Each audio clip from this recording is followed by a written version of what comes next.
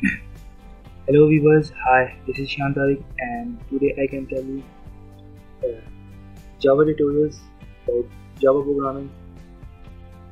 This is my first Java tutorial and in this tutorial I can tell you how to download and install Eclipse and JDK.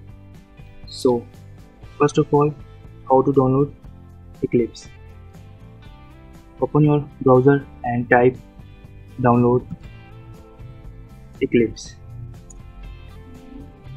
You can see here is your first link here. Open it.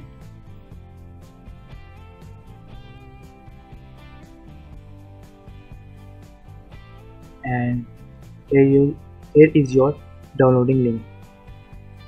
You can download it here. Then how to download JDK type here JDK download here is your first link up here open it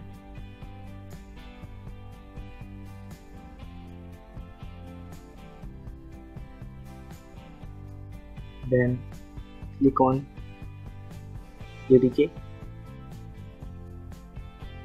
and what you want? If you use linux you can download here uh, if you use windows you can download up here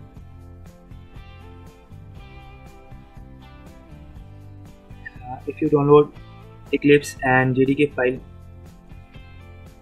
uh, go to downloads where you can download this file and you can see this file and this JDK file and this Eclipse folder. So extract here, click on extract here and here is your extracting file. Then install JDK. Double click on it and install. If you install JDK, then go to C and program files and go to Java and you can see this JDK folder here. Open it and go to bin folder